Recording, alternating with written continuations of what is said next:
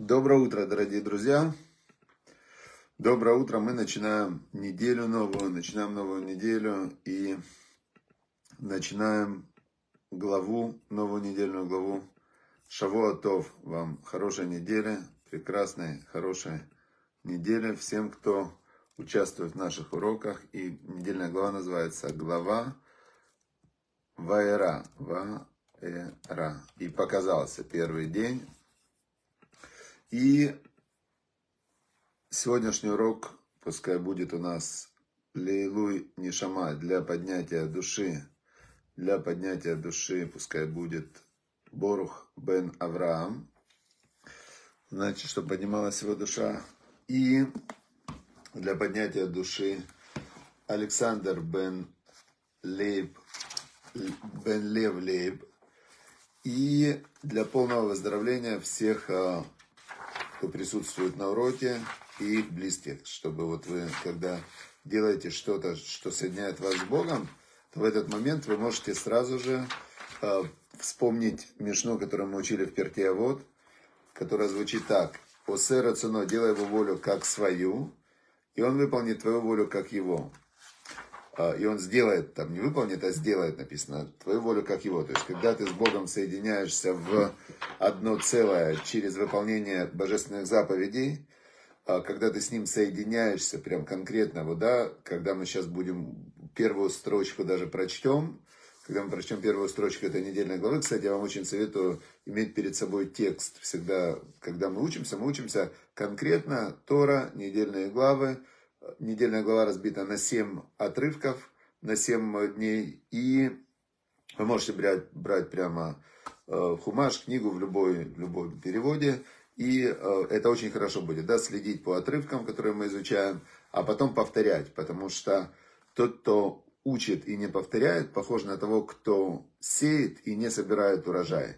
И смысл от изучения Торы в том, что у вас остается после изучения Торы – Э, в тех изменениях, которые у вас происходят. И еще раз подчеркиваю вот эту очень важную идею, что человек, он в зависимости от того, с чем он взаимодействует в данный момент, э, это вызывает у него ту часть его личности, которая соответствует этому взаимодействию. То есть человек, который взаимодействует с опасностью, у него включается рептильный мозг, и он становится рептилия, да, бей, беди, замри а человек, то есть стресс, и он, оп, у него включается его внутренняя рептилия. Человек, который взаимодействует с бутылкой водки, да, и с э, собеседником, он через некоторое время начинает, ты меня уважаешь, уважаю, я тебя уважаю. То есть в нем в, внутри выходит такой уважаемый человек, да, и который, ну, дальше непонятно, кто у кого как выходит. Теперь, а когда мы общаемся с Богом и изучаем Тору, то у нас выходит, а, выходит э, на поверхность наша самая высшая божественная часть. И это высшая божественная часть, которая душа и все, что к ней примыкает. Когда в этот момент ты взаимодействуешь с Богом, то ты закрепляешь в себе вот эту вот часть себя, которая самая твоя высшая часть, которая потом, возможно, зайдет в вечность, если ты этой частью будешь ее питать, да, выращивать себе. Если ты больше будешь взаимодействовать как нас учит Тора, с хорошим другом, с хорошим соседом, с хорошим, значит, с раввином и так далее, то у тебя твоя часть, это духовная святая, она будет вырастать. Все, значит, читаем недельная глава Вайра. Вайдабер Элоким Эль Моше. И сказал всесильный Моше. Помните, чем закончилась предыдущая глава? Она закончилась тем, что Моше сказал э, Богу, зачем, говорит, э, зачем делаешь ты зло этому народу, сказал он Богу зачем ты меня послал вообще сюда, да? Моше говорит Богу. С тех пор, как я пришел к фараону, говорить о твоем имени, стало хуже, стало больше зла для этого народа. А, и спасти не спас ты народ. И сказал Бог ему, Моше, сейчас увидишь ты, что я сделаю фараону, рукой сильно он вас вышлет, и сильное, ну, то есть сильными какими-то действиями он вас выгонит из страны. И дальше он продолжает говорить с Моше, Ваэдабер Элуим Эль Моше. И сказал всесильный Моше, Вайомар Элав, и сказал ему, тут используются два, два на иврите разных слова. И говорил всесильный к Моше, и сказал ему, я Бог. А, на русском это звучит всесильный Бог, как-то, ну, ну, всесильный, ну, Бог, да. На иврите, когда мы читаем вот эти вот 22 буквы, которыми Бог сотворял мир, то слово Элоим, Элоим это всесильный, да, оно открывается очень большим смыслом сразу, да, все силы, которые есть в мире, в мироздании, то, что называется природа, атева, это то, тоже числовое значение, то есть все силы, все законы природы, все мироздание – это всесильные. И сказал он Моше, я Бог. Он ему говорит, тот, кто сейчас с тобой разговаривает, я Бог, который это все сотворил, и который, а, который не просто это сотворил, а который в этом сотворенном, он каждую секунду поддерживает его существование, и он всем этим сотворенным управляет. И он говорит, это вот все для этого, чтобы ты понял, что есть всесильный, есть Бог, и чтобы сейчас не просто я понял, ну Бог-то это, Он Творец. Не, не только ты, Маше Рабену, пророк, это сейчас поймешь, а сейчас весь мир это поймет. Так сказал Бог. Вайра эль Авраам, и он объясняет, я показывался Аврааму, Ицхаку и Якову, это праотцы, через которых мы знаем о Боге, да, через которых вот этот Бог-творец, он начал с миром взаимодействовать, разговаривать, Значит, и я показывался Аврааму, Ицхаку и Якову в Эль-Шадай. А, в Эль-Шадай это, ну, дословно на русский можно перевести как Бог, а, Шадай, Шадай. Бог, что все от него властитель, властитель всего, например, да, Ушми Ашем, но имя вот это Бог, которое Юд Кей Вав Кей, четырехбуквенное имя, Творец мироздания, который был, есть и будет, который бесконечный, который не вписывается ни в какие вообще определения, потому что он, он вначале был он, а потом появились определения. Так Бог говорит, вот это имя Бог, Лона датилаем, я им не сообщил. То есть они со мной общались все равно через, э, через мое облачение в какую-то структуру, в какую-то форму, в какое-то слово, в какое-то... То есть человек воспринимает, э, воспринимает Бога, э, вот, например, я говорю сейчас вам, вы знаете, я вам сейчас давайте получим недельную главу про Бога. И человек воспринимает, а, про Бога, типа Ицкак рассказывает что-то, да? Но с Богом тут где взаимодействие? Другой человек, у него уже ближе взаимодействие. Он читает на иврите. И говорил Элоим всесильный Моше. И воем Илав, и сказал ему, они Ашем, я Бог. Смотрит он на это четырехбуквенное имя, Юд Кей Вав Кей, четыре эти буквы, 26 числовое значение. И думает, как же мне вообще Бога-то понять? Потом он вдруг вспоминает, а, как, а, как он молился и как ему открылось. Я читал а, книгу одного очень, значит, есть такой Фриц Перлс, создатель диджиталь-терапии. И он в своей автобиографии, которую он назвал, книгу назвал «Внутри и вовне помойного ведра». Это он описывал, что у него в голове. Так он назвал свою книгу, свою автобиографию.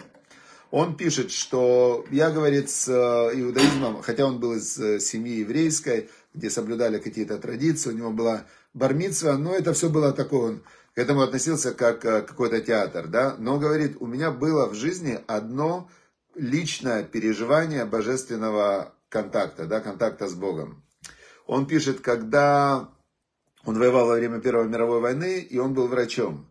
Его должны были послать в первый окоп, на первой линии, первый окоп. А, но его послали в третий, и он очень радовался. Но потом его послали обратно в первый, и он боялся, это первая линия соприкосновения ну, с боем. Но потом, значит, всю ночь шел бой, там вообще, ну, страшная война, война, Первая мировая война. И говорит, его ранило, меня ранило. А третий окоп, где я должен был быть изначально, там всех убило. И он говорит, когда этот бой закончился, утро, и вот я раненый, восход солнца, и я в этот момент почувствовал, что вот, что как-то он описывает так, что есть Бог, или что свою связь с Богом, как Бог меня спас, и как-то вот у него было, он говорит, я один раз в жизни почувствовал вот эту вот личную связь с Божественным. Но, говорит, я ничего про это не знал. Он так конкретно и пишет. То есть у него не было никакого интерфейса, да, интерфейс это как а, способ взаимодействия с божественным. Потому что как можно с Богом взаимодействовать? Только когда ты учишь Тору, когда ты молишься и когда ты выполняешь заповеди Бога. Это три а, канала, по которым ты можешь усиливать свое личное соединение с Богом. И вот, значит, э, но опять же, когда ты учишь Тору, ты все глубже, есть кабала, есть там какие-то очень высокие э, интеллектуальные способы постижения божественного, да, то есть ты узнаешь, что есть какие-то 10 сферот, какие-то духовные миры, какие-то, э, есть масса меркова, это, ну, то есть как оно все управляется и так далее. То есть есть люди, которые это все описывали пророки. Есть второй способ, человек, который молится, да, есть люди просто, пришел вот утром, утренняя молитва, помолился 20 минут, ты, ты, ты, ты, ты прочитал, я сегодня, э, когда Шма Исраиль говорил в синагоге, и, оп, и мы проскочили это Шма, прям я, я думаю, вообще, я как-то не успел, это же Шма Исраиль, а я даже не успел настроиться и вникнуть в то, что я говорю. Бывает, что ты формально молишься, а бывает, что ты входишь и молишься так, что просто тебя уносит в молитву, вот в этот контакт, и ты просто можешь вообще ничего не произносить, но ты чувствуешь, как ты соединился со Всевышним.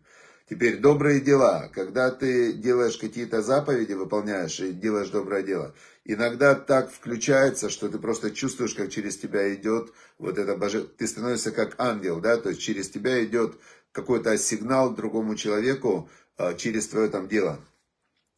И, значит, Бог говорит Мошарабейну, я, говорит, тебе открываю сейчас вот в том, в том своем проявлении, которое вообще ни, никто не может его постигнуть, кроме тебя. Потому что Маше Рабену был такой пророк, он был как чистое стекло.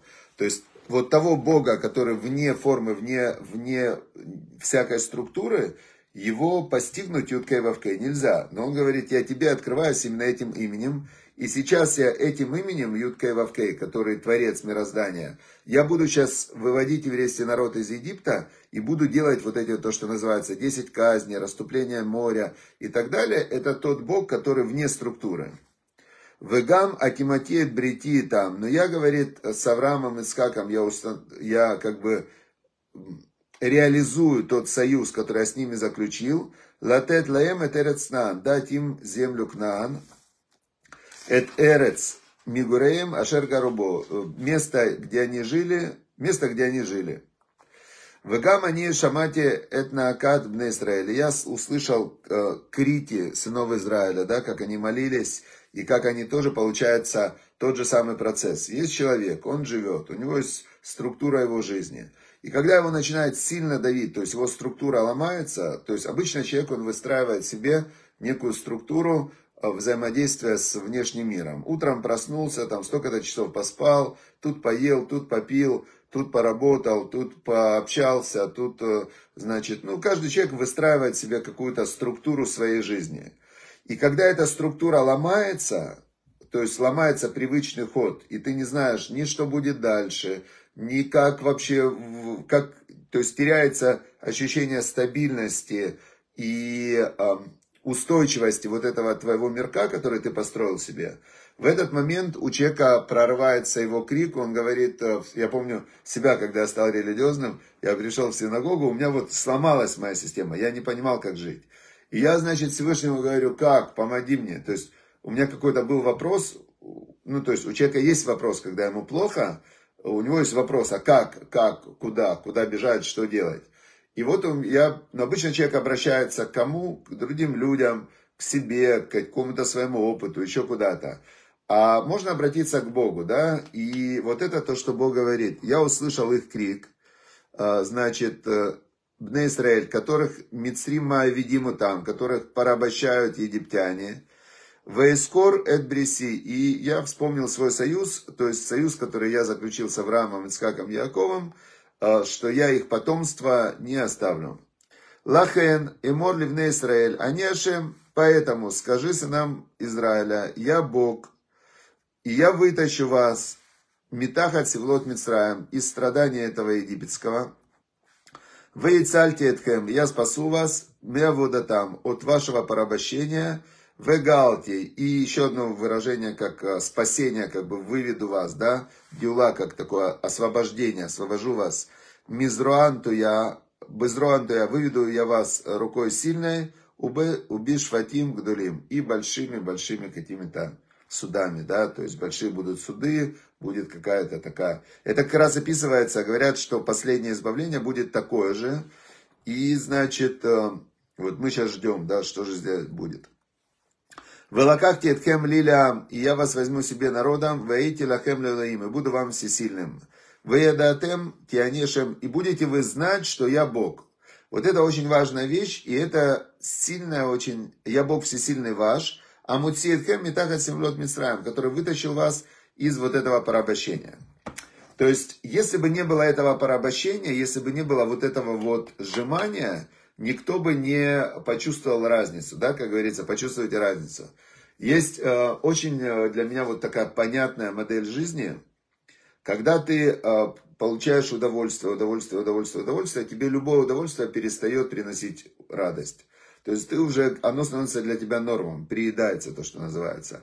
Э, как э, царь Соломон говорил в Мишле, что мед ешь э, в, в норме, да, чтобы ты не присытился и не начал его как бы изрыгать, да, можно вырвать, из человеку взять банку варенья, еще одну банку, и после третьего литра варенья любой человек начнет рвать этим вареньем, да, хотя оно в одной ложке, оно очень вкусное, он может его сильно любить. Когда ты постишься, например, день не ешь, не пьешь, потом выпиваешь просто чистую воду, она дико вкусная, невероятно вкусная. Берешь маленький кусочек там хлебушка, яблочко, чего-нибудь, морковочки какой-нибудь, все что угодно, после дня поста оно приобретает невероятный вкус. То есть и когда они были вот в этой вот полностью яме, тогда они могли узнать, что Бог это Бог, и уже с ним соединиться. Я приведу вас в землю, которую значит, а, который я пообещал дать Аврааму, Ицхаку и Якову, и дам ее вам в Мараша, я Бог. Дам ее вам в наследство, я Бог. И сказал Моше так сынам Израиля. Моше передал слова Бога сынам Израиля. И что? Вело Шамуэль Моше. Не слышали они Моше, не слышали они Бога. Ну, то есть, они, Бог через Моше им передал этот прекрасный текст. Но не слышали они Моше, не могли они это понять, воспринять. Микоцер руах, от того, что у них был коцер, э, коцер руах, это дух, обрезанный дух, сокращенный дух, да, можно так дословно если перевести. Ума вода каша и от тяжелого труда. Значит, человек, который подавленный, он дышит вот так. Нет у него сил, у него нету никакой надежды, у него нету уже, он сломался. То есть они были сломлены. Знаете, когда человек, у него уже, он вот в депрессии, у него вот этот вот, он так дышит еле-еле. Это вот коцер руах такой, нет у него духа, дух сломлен. И миавуда каша от тяжелого труда, что он задавленный, да, задавленный этой жизнью. И много таких людей, которые действительно сломались. И, и сказал Бог Моше, говоря, значит, Бог продолжает и говорит, иди теперь, скажи фараону, царю Египта, Вайшлахат на Израиль мерцо, пусть он высылает сынов Израиля своей страны. Э, это когда ты приходишь к этим людям, которые подавленные, и ты им говоришь, давай, начни учиться, молиться, иди в Ешиву. Там. Я, например, когда у меня вот, э, я стал религиозным, я приехал, сел в Ешиву и учился. Прямо вот так с утра до ночи. Как так можно? У меня был там, была совершенно одна жизнь, да, я жил там на, в Старом Арбате в Москве, у меня была машина, новый Range Rover, все. И я сел в Ешиву и спокойненько два года сидел, вообще кушал хлеб, пил воду и полностью, как бы полностью обнулился, да. Может человек любой обнулиться, начать сначала, начать что-то делать, но что, когда сказал Бог Моше, иди к фараону, скажи, чтобы отпустил, значит, народ из земли, и сказал Моше Богу, даже сыны Израиля не послушали меня. А как меня услышит фараон, если я ораль сватаем, я косноязычный, ну, я не могу говорить. Даже сыны Израиля мне не поверили. Куда мне отпустит этот фараон? И сказал Бог, это то, что говорит обычный человек, когда ему Знаете, как есть э, такая, как метафора на это. Один э, в горах упал в пропасть. И он падал в пропасть, и он зацепился за ветку. И у него ну, нет выхода, нет спасения. То есть внизу пропасть, э, километр. Он за ветку держится. И он кричит, Господи, спаси меня, спаси меня, я тебя прошу, прошу, спаси меня. И тут он слышит такой голос, да, я услышал тебя, я спасу тебя, отпускай ветку. Может, еще кто-то там есть, пожалуйста. Может, есть другие варианты, да? То есть человек, который, э, который э, даже попал он в очень сложную ситуацию, и у него, ему поговоришь, вот выход, да, вот тебе выход. Становись религиозным, соблюдай шаббат, э, вот измени свою жизнь, или там начни спортом заниматься, кому-то нам можно сказать, да, чтобы... Есть методы, то есть есть миллион вариантов. Но что делает человек, который в депрессии сломленный? Он говорит, не получится, я точно знаю, не получится. Да ты попробуй, ты попробуй это. То есть, кто тебе сказал? Но человек своей вот именно отсутствием веры, он уже полностью перекрывает себе кислород. И вот, значит, э, Моше сказал, говорит, я куда, куда я пойду к фараону? Значит, сыны Израиля меня не послушали. Как я пойду, что я ему скажу? Я Араль Сватаем, я косноязычный. И сказал Бог Моше и Аарону, значит, э, прикажите, Вейцавем Эльбне, прикажите сынам Израиля и фараону, царю Египта, вывести, вытащить сынов Израиля из земли египетской. Бог говорит, вот делайте, просто делай, just do it, все. Так скажите. Ну, все, сегодняшний отрывок закончился. Завтра мы узнаем, что было дальше. В этой недельной главе будет э, из 10 казней египетских 7 казней. Мы узнаем, как они были, узнаем, что за ними крылось, почему Бог именно так решил себя проявить, почему именно в таком порядке что за каждой казнью он хотел нам показать на все поколения, а, потому что это как раз вот проявление Бога в этом мире. Но пока вот еще пару минут есть, я хотел сказать, как советует Рамбам, Рамбам, как советует соединиться со Всевышним, да, он говорит, есть у нас заповедь любить Всевышнего и бояться Всевышнего. Теперь и познавать Всевышнего, да, как говорил царь Соломон, «Баколь драхеха деу» на всех своих путях познавая его, в у яшер архатеха, и он, вы, он твои дорожки выпрямит. Первое мы делаем, мы учим Тору, то есть мы учим Пятикнижие, Хумаш и Мишли. Пожалуйста, перейдите в Телеграм, у нас есть онлайн-школа, бот такой в Телеграме, онлайн-школа «Жизнь по Торе», там есть э, бот совета Рэба Любавического, 365 советов. Невероятно мощная штука. Каждый день вы можете получать по совету. И в любой момент вы можете случайный совет брать. Э, это прям реально советы для жизни. Невероятный Любавического Рэба. И второе, то, что у нас есть бот там, этот бот называется Мишли. Три отрывка в день. Вот Максим как раз его сделал. Спасибо ему еще раз огромное, чтобы было у него благословение. Три отрывка Мишли в день, и можно любой отрывок, любую главу почитать с комментарием на русском, все понятно. Это мы изучаем Тору, а, значит, Пятикнижие это то, что мы получили через Машарабену, и Мишли это царь Соломон, мудрейший из людей. А, притчи это как жить, как правильно жить. Он прям специально 31 главу нам написал полностью, как работает этот мир, как в нем жить по Торе. Кроме этого, есть там видеоуроки, как только у нас появляется кто-то, спонсор, который хочет, чтобы про какую-то заповедь мы рассказали, мы снимаем а, фильм, а, равид, все, то есть мы хотим таким образом, чтобы каждый, чтобы все заповеди мы представили, и чтобы можно было легко зайти тоже в телеграм-боте, каждую заповедь посмотреть, понять вглубь, как ее делать и так далее.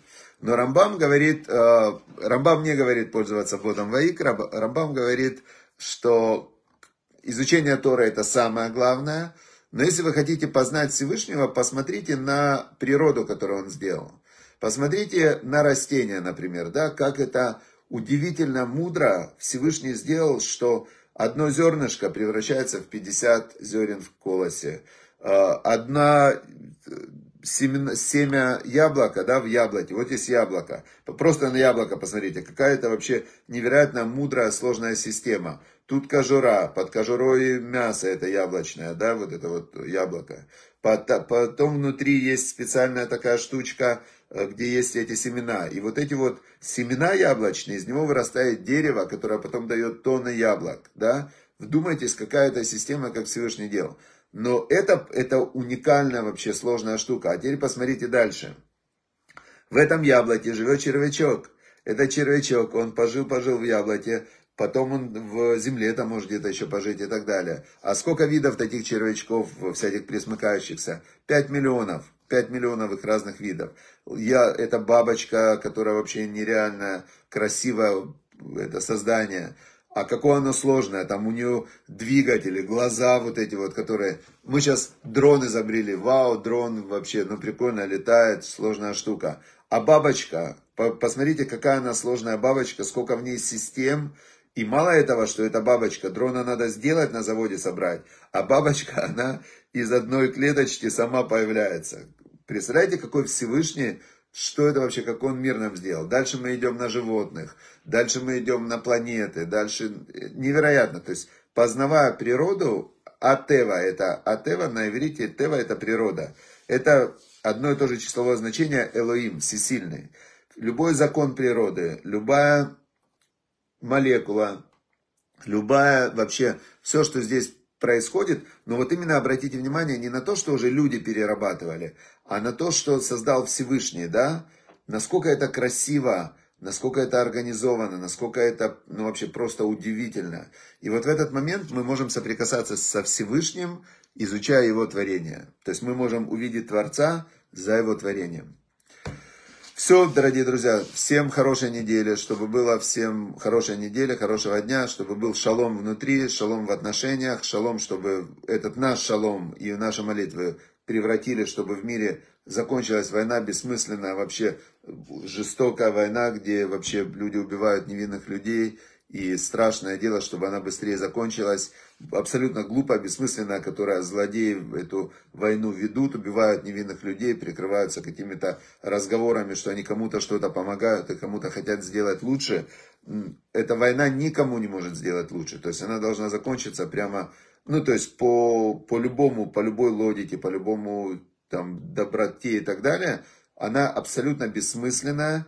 И сотни тысяч людей, которые сейчас погибают, и миллионы людей, которые страдают, а, невозможно оправдать ни одной цели, которую объявляют как цели этой войны, гибелью стольких людей, страданиями стольких людей. То есть это ужасно, поэтому она должна остановиться, и все нормальные люди должны начать молиться, просить Всевышнего и выражать свою позицию, война должна остановиться. То есть все, кто поддерживает войну, это преступники. И те, кто хотят, чтобы ну, это ужасно. То есть давайте молиться, чтобы война закончилась сегодня. Сегодня. И я думаю, что Всевышний, который творец мироздания, он только ждет, пока все закричат «нет войне» и наступит шалом. Все, всем удачи, успехов, хорошего, прекрасного дня.